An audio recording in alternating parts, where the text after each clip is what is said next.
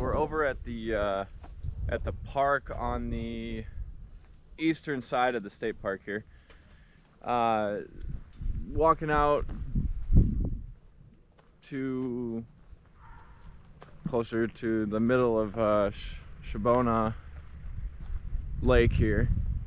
And across the way, I'm looking at RVs and I'm finding out that there is uh, a campground here. So, definitely looking and am interested in camping here when the uh, weather gets nicer this coming spring. Because this is this is actually a really really beautiful spot. Everything's well kept and it's just nice, man.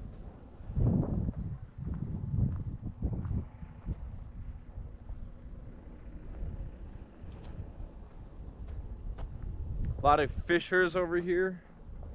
So if you're into fishing, this might be your spot. Boat launch. There's a little restaurant next to the park here.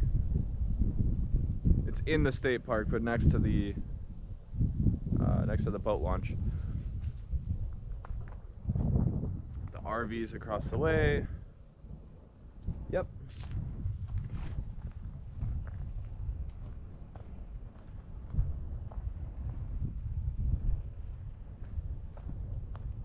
We're walking closer to the Arrowhead Trail right now.